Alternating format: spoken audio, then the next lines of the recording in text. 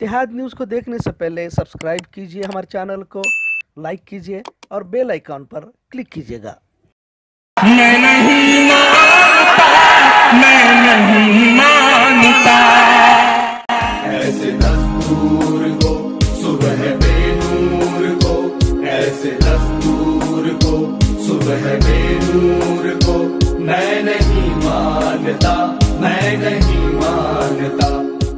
السلام علیکم رحمت اللہ وبرکاتہ۔ اتحاد نیوز میں آپ سبھی کا خیر مقدم ہے۔ اردو پھر بن گئی انقلابی زبان۔ فیض حبیب کی نظموں سے کیا حکومت ڈرنے لگی؟ بھلے ہی اردو کو ختم کرنے کی سازش اپنوں نے اور غیروں نے بارہا کی ہو، پر اردو زبان ہی ایسی ہے جو مٹتے نہیں مٹتی۔ جب کبھی ظالم کا زور بڑھنے لگتا ہے، مظلوم کی سسکیاں آسمان کو چھونے لگتی ہیں۔ تڑپتی لاشیں، دھواں، آگ، کچھ پیغام دینا چاہتے ہیں، تو اردو کے ہی الفاظ اپنا کردار نبھانے لگتے ہیں۔ لکھنے والے شاعر تو دنیا سے چلے گئے، پر جو الفاظ پیچھے چھوڑ گئے، وہ وقت ظالم حکمرانوں سے آج بھی لڑ رہے ہیں۔ پر اعتراض جتانے والوں نے اسے بھی کٹگرے میں کھڑا کرنے سے نہیں چھوڑا۔ ویسے جنگ آزادی میں انقلاب زندہ باد کا نعرہ بھی اسی اردو کی دین تھی۔ سارے جہاں سے اچھا لکھنے والے بھی علامہ اقبال اردو شاعری تھے، جن کا مقام سب سے اونچا ہے۔ لیکن جب اسے علامہ اقبال نے چین و عرب ہمارا ہندوستہ ہمارا لکھا، تو یہاں پر بھی اعتراض جتایا گیا۔ پر ہر دور میں اردو نے انقلابی تحریکوں کی ریبری کی ہے۔ فرقہ پرست سوچ و فکر لوگ ہمیشہ سے ہی اس کے مخالفت میں تھے، جو آج بھی وہ کیسے پیچھے رہ سکتے ہیں۔ لہٰذا اردو نظم، جسے فیض احمد، فیض حبیب ظالب نے لکھی ہے، اسے پڑھنے پر مقدمے دائر کیے اور اس پر انکوائری بٹھائی گئی ہے، سولہ لوگوں کی انکوائری اس پر بٹھائی گئی ہے۔ اسے ہندو ویرودھی ثابت کرنے کی بھی کوشش کی جا رہی ہے۔ فیض احمد، فیض کی نظم ہم دیکھیں گے، جسے وقت کے تانہ شاہ ضیاء الحق کے خلاف لکھی تھی۔ تانہ شاہ کس حد تک ظلم کی انتہا کرنا چاہتا ہے؟ اس کا آخری ضرب تک ہونے ہونے سہنے کے لیے ہم تیار ہیں۔ ہم دیکھیں گے ایسا اس نظم کا مطلب ہے۔ تو وہی دوسری طرف، حبیب ظالب کی ہم نہیں جانتے۔ ہم ہم نہیں مانتے نظم کو، طلباء و طالبات پڑھ کر احتجاج میں جان بھر رہے یقیناً اردو زبان ہی ایسی ہے جو مردوں میں بھی جان بھر دیتی لہٰذا اس این آر سی اور سی اے کے خلاف جو ملک بھر میں احتجاج ہو رہا ہے، جبکہ ان انقلابی نظموں کو پڑھتے پڑھتے شاہین باغ میں نہ صرف طلباؤں نے بلکہ بچے، عورتوں اور بوڑھوں نے بھی جذبہ پیوس کرتا دیکھا گیا۔ ویسے تو کئی سارے میں نظم و شاعری اس انقلابی احتجاج کا حصہ رہی، پر فیض یہ ہم دیکھ دیکھیں گے، کچھ لفظوں نے مخالفت کے خیمے میں خلبری مچا دی ہے۔ اور شاید اسی لیے دیش ویرودی اور ہندو ویرودی کہا جا رہا ہے۔ فیض کہتے ہیں، یوں ہی ولشتی رہی ہے، ہمیشہ ظلم سے خلق، نہ ان کی رسم نہیں نہ اپنی ریت نہیں یوں ہی کھلائے ہیں ہم نے، ہمیشہ آگ میں فل نہ ان کی ہار نہیں نہ اپنی جیت نہیں اسی طرح سے حبیب ظالب رہے حبیب ظالب انسان اور انسانیت کے شاعر تھے، ان کے تیور خالص انقلابی تھا، نہ حکم مانتے تھے، نہ جھکتے تھے۔ حبیب ظالب کو تو حکمرانوں نے کئی بار زنزیروں میں جکڑنے کی کوشش کی، لیکن ان کے قلم کبھی نہ جکڑ پائے۔ وہ چلتی رہی مجبوروں اور مزدوروں کے لیے۔ ستہ کے خلاف بنا ڈرے بھارت کے بٹوارے کو حبیب ظالب نہیں مانتے تھے، لیکن گھر والوں کی محبت میں انہیں پاکستان جانا پڑا۔ حبیب ترقی پسند کبھی تھے، ان کی سیدھی سپاٹ باتیں ظلم کرنے والوں کے منہ پر تماچا تھی۔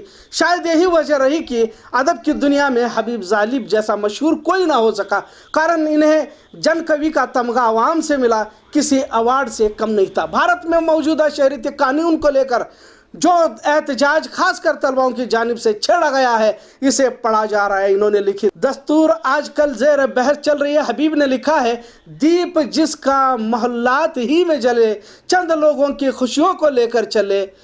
وہ جو سائے میں ہر مسلحت کے پلے ایسے دستور کو، صبح نور کو میں نہیں مانتا، میں نہیں جانتا۔ میں بھی خائف نہیں، تقتدار سے میں بھی منصور ہوں۔ کہہ دو اگیار سے، کیوں ڈراتے ہو زندہ کی دیوار سے؟ ظلم کی بات کو، جہل کی رات کو میں نہیں مانتا، نہیں جانتا۔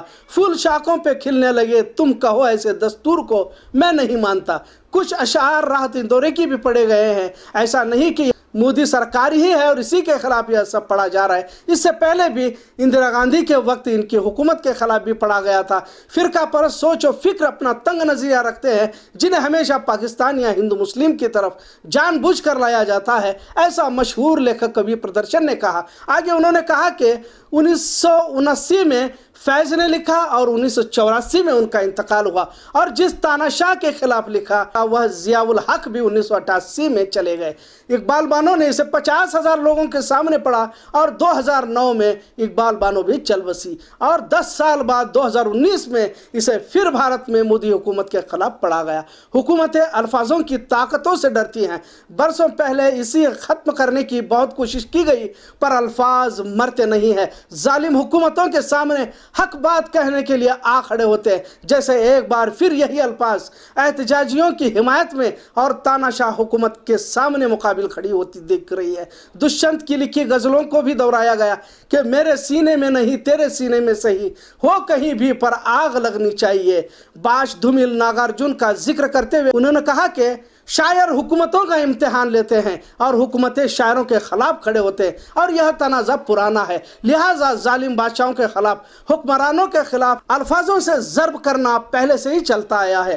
پر موجودہ حکومت اسے ہندو ویرودی کہہ کر اس پر انکوائری بٹھانا یہ ثابت کرتا ہے کہ تاناشاہ حکومتیں لفظوں سے ڈر جاتے ہیں۔ دوسری طرف، حکومت کی جانب سے یہ کہا جا رہا ہے کہ مودی امت شاہ کو جس طرح ظالم کہا جا رہا ہے، یہ صحیح نہیں ہے۔ لوگ تنترہ ابھی بھی زندہ ہونے کی بات ان کی طرف سے کہی جا رہی ہے۔ عوام کو غزلوں کے ذریعے، شعر و شاعری کے ذریعے بہکایا جا رہا ہے، ایسا بھی ان کا کہنا ہے۔ اردو شعر و شاعری کے ذریعے ایک بار پھر دسمبر کی ٹٹورتی سردی میں بھی سیاسی ماحول گرم ہوتا دکھ رہا ہے۔